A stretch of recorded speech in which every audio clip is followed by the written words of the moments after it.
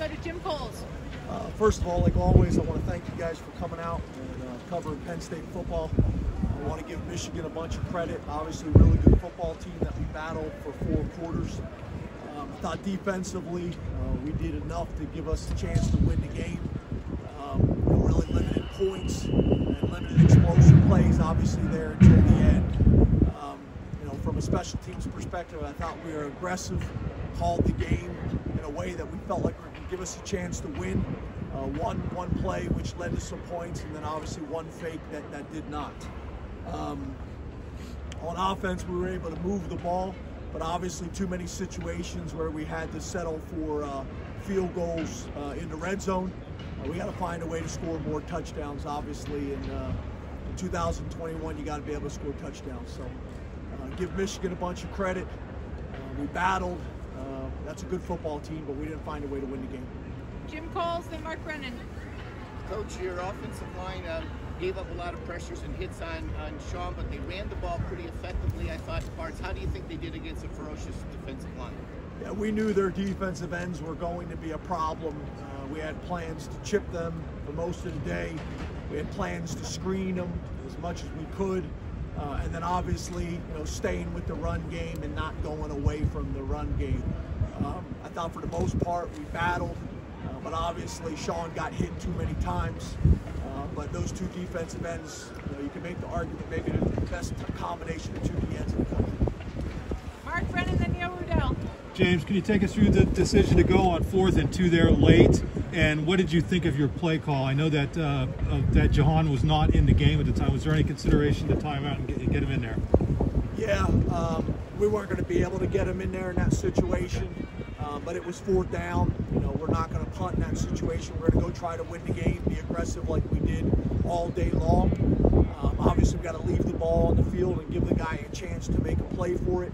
Obviously, you know, that's not the time you want to lose Jahan Dotson, obviously, because you know, at that point of the game, you're thinking players, not plays. Trying to get the ball into your playmakers' hands. Um, obviously, that was that was a critical play in the game. Neil Rudel and Dave Jones. James, can you take us through the fake field goal again? It's fourth and two there. Um, you know, what you were looking Did you think about going for it on fourth and two besides the fake? Yeah, I think you guys know as well as I have, we have not been great in short yardage situations, so that was our going for it on fourth down. Um, you know, felt like we had the look that we wanted. Um, you know, but it's, it's about details. You know, we threw the ball to the back hip Jordan's not the type of guy that's going to be able to catch a, a, you know a ball that's thrown behind him and still be able to outrun the defense. Um, we just got to clean it up. The margin of error is really small. Obviously, we're playing a bunch of really good teams, especially on this side of the conference. Um, I'd make the call again, uh, but obviously it wasn't successful. We were going to call the game today in an aggressive way to give us the best chance to win the game. We, get, we got to find ways to execute. We got to do a better job coaching. Audrey Snyder, then Mike Gross. Guys moved Juice Scruggs to center and kept it there. Eight years into this, how do you feel like O-line is? Because you always kind of mentioned Ohio State and Michigan these. Yeah, um, we, we lost Mike Miranda. That's why he wasn't in there. Uh, came, you know, wasn't able to go back in the game. Um, I think at times you know, we did we did some pretty good things, but we weren't consistent enough. We got to be able to run the ball to take the pressure off of the passing game.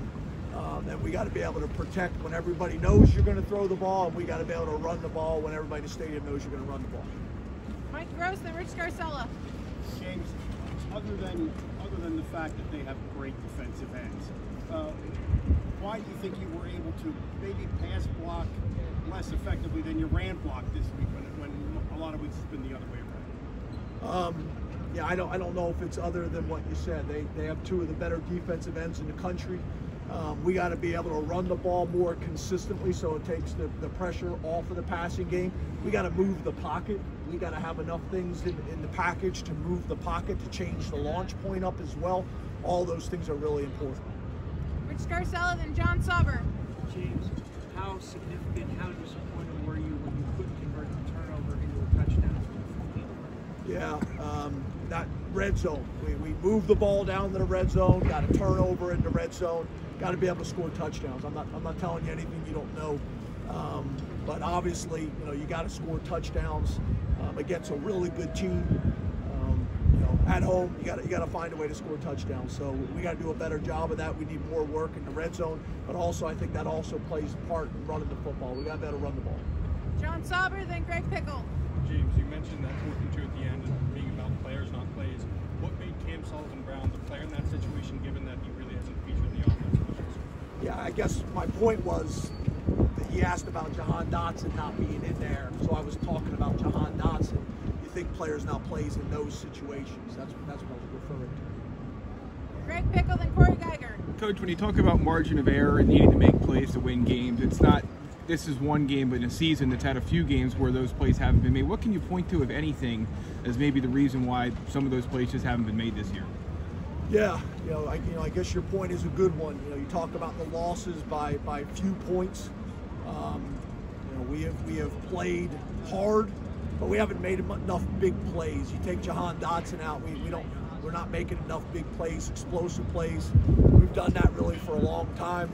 Um, I, I think you know you talk about the running game. I don't know if we've had very many explosive runs all year long. So uh, you know that's something we're going to have to look at hard. Um, but I think that that's the biggest issue. We just we don't have enough explosiveness uh, besides Jahan Dotson in our offense. Two more, Cory Giger, and then either Ryan or Andrew for. James, you've had a lot of success here. You're 10 and 9 in the last two years. Is battling and playing hard and losing close, is that ever good enough for Penn State? And how would you analyze the job you've done? No, I, I, I, I get it. Yeah, I get it. Um, but uh, I'm proud of those guys in the locker room. Proud of the coaching staff. We'll, we'll find a way to get a win next week. Coach, we talked about the close plays each game. How much do those close plays being the deciding point in all these games, how much do they eat throughout the season? Well, obviously the, the margin of error is small. You know, you look at you look at our side of the conference, maybe one of the better sides of the conference in college football. Uh, you can pick out four to six plays each game, and um, you know for most teams and, and, and most people, that that's going to determine your success. Find a way to make those six plays per game, especially the way we're playing on defense. Um, you got a chance to get wins against really good teams. And, and we have not made those six plays, four to six plays a game consistently enough this season. Thank you, Coach.